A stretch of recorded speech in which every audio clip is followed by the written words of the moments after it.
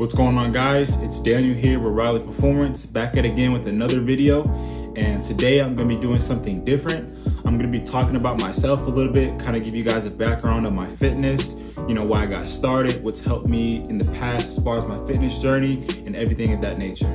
So without further ado, let's get started. Real quick, if this is you guys' first time on my channel, make sure you subscribe, turn those bell notifications on so you guys don't miss a single video. And as far as the comment section, leave me something down below as far as what you guys want to see next, whether that's a video on nutrition, a step-by-step -step on that, or a specific workout you guys want to see. I want to get you guys involved. So let's get back into it. So just a little background on my fitness, guys.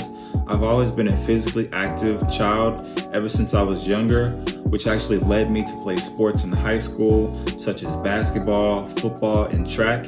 And the older I got, my passion just got a lot bigger as far as fitness. As my long-term goal for this channel is I really want to help you guys achieve your health and wellness goals, as well as receive feedback as far as what's working for you guys and what's not working, because I want to help you guys achieve more than just fitness. I want to help you guys achieve life goals as well.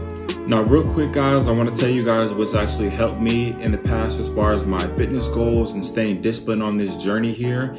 And I like to look at my life as an ultimate outcome. And what that means is there's going to be days when you're not going to feel motivated to work out, when you're not going to be motivated to eat right. And I'm gonna tell you guys when I had those feelings and I actually didn't work out and I didn't go to the, I didn't, you know, eat right, I actually felt real guilty, like I just didn't do anything, right?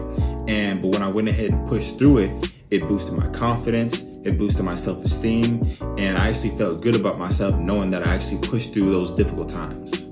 Okay guys, I hope that's helped you guys out. This has been a Monday motivation. I wanna see you guys winning. I wanna see us all growing together and just building on each other's success.